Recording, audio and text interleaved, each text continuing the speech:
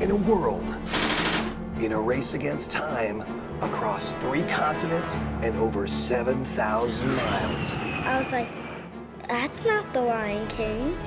comes a man A very special man. on a mission. A very special mission. A mission to hug and kiss. Three. Very special girls who live in Evans Mills, New York, and who are in this movie theater right now. Alexa, Alicia, Julie, it's your daddy, and I'm coming home. I was so surprised when I saw my dad. Girls, look over there.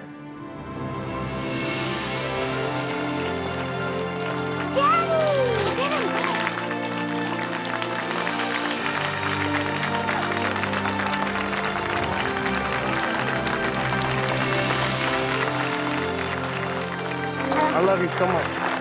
Having my daddy home, it's a miracle. It's just the best thing that's ever happened to me. He's our hero. I love you. I miss you. The best part is I get to hug him. I missed you girls so much.